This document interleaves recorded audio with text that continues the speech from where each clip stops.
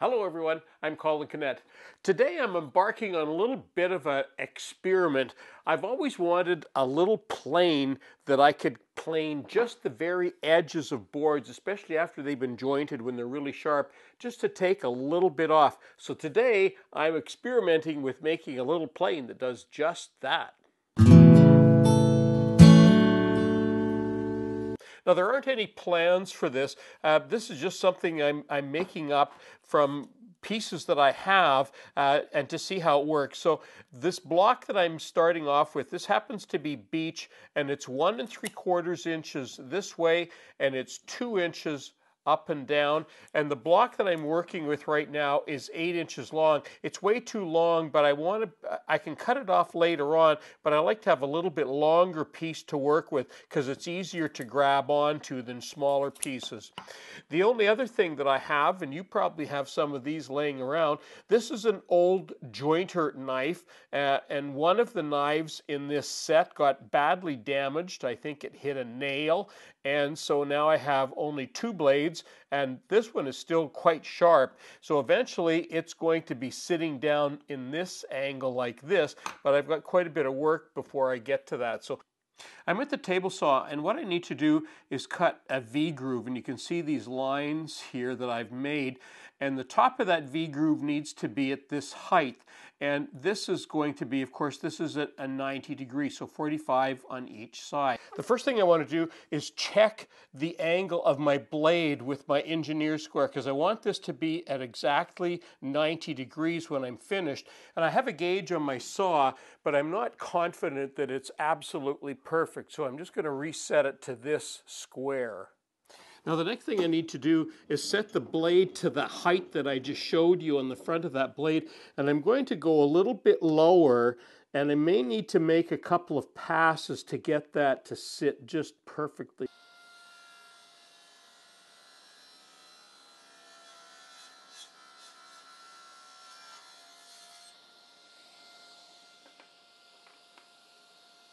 Now that center is going to shoot out of there, so I'm standing away from where that's going to come out.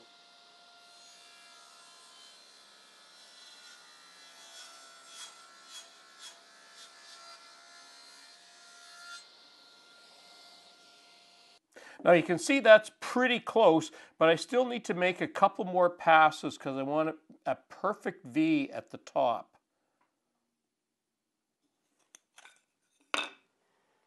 There, I just finished that groove and I just put that on the edge of my saw and you can see that's a nice tight fit. That's perfect.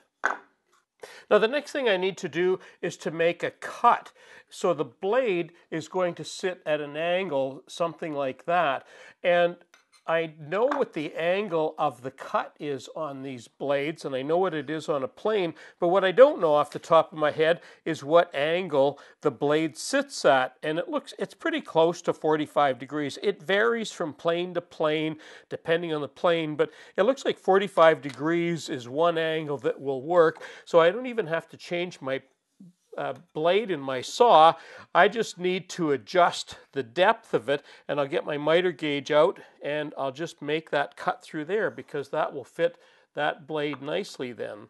Okay, now I'm going to make a couple of 45 degree cuts just wide enough to fit the blade in.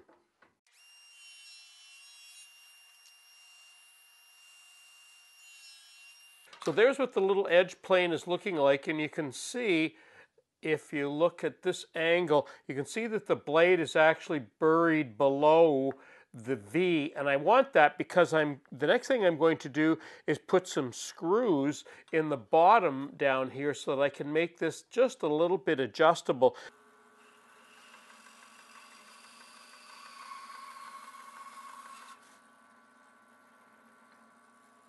Okay, I'm getting down some real fine work here. I don't know if you can even see these little brass screws, but what I want to do is drill a couple of holes in there, and these are going to be my adjustments so that I can move that blade forward. There's sort of where what it's going to look like, uh, and the blade will protrude down there. So I'm going to drill those holes and put those screws in.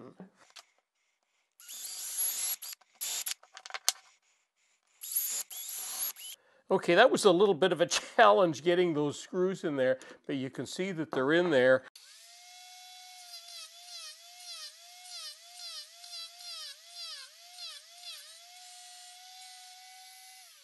Okay, one last thing, I want to ease the edges on this, so I'm just going to run that through my router.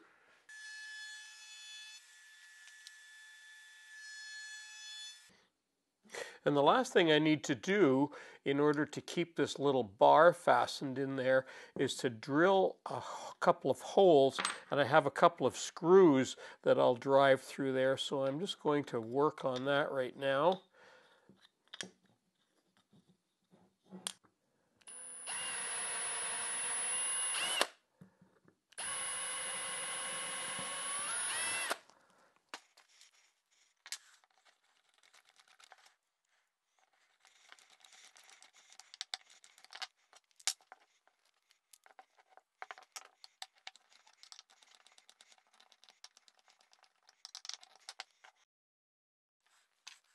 All right, now for the moment of truth. I've adjusted that blade so it's just barely protruding through that V. You won't even be able to see that.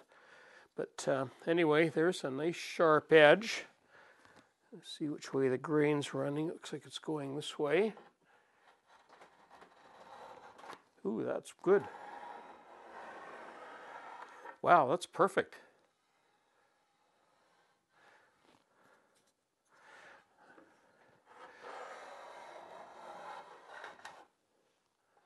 Yeah, look at the look at the curl you can see there. That's excellent.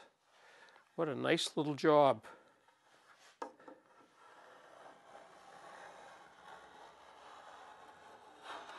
Quick and easy. It's that blade's still a tiny bit high. I still might adjust that down a bit, but uh, that looks good.